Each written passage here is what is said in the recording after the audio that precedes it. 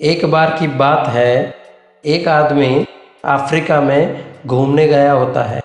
तब वो वहाँ की सफारी में देखता है कि वहाँ पे हाथियों को एक पतली रस्सी से बांधा हुआ होता है और ये देख के वो आदमी अचरज में पड़ जाता है।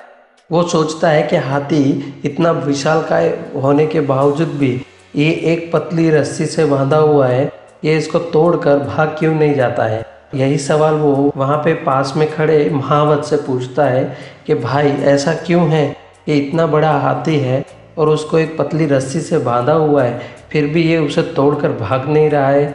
तब वो महावत उसे कहता है कि, हम लोग, जब ये हाथी बचपन में छोटे होते हैं, तब इनके अंदर उतनी ताकत नहीं होती है और तब हम उनको जो रस्सी से बांधते हैं, वो कई बार वो रस्सी तोड़ने के प्रयास करते हैं, लेकिन वो रस्सी वो तोड़ नहीं पाते और उसकी वजह से धीरे धीरे उनको ये यकीन हो जाता है कि वो ये रस्सियाँ नहीं तोड़ सकते।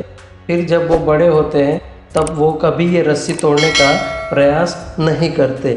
ये सुनकर वो आदमी आश्चर्य में पड़ जाता है कि ये इतना ताकतवर जानवर है और अपना बंधन इसलिए नहीं तोड़ पा रहा है, उसको अपने आप पर यकीन नहीं है। हाथियों की तरह हम इंसानों में भी ऐसा ही होता है। पहली मिली असफलता के कारण हम मान लेते हैं कि ये काम हमसे नहीं हो सकता और अपनी बनाई हुई इस मानसिक जंजीरों में हम जकड़े हुए हम अपना पूरा जीवन ऐसे ही गुजार देते हैं। याद रखिए, असफलता एक जीवन का हिस्सा है और निरंतर प्रयास करने से ही सफलता मिलती है। यदि आप भी ऐसे किसी बंधन में बंधे हैं जो आपको अपने सपने सच करने से रोक रहा है तो इसे तोड़ डालिए। आप हाथी नहीं, इंसान हैं।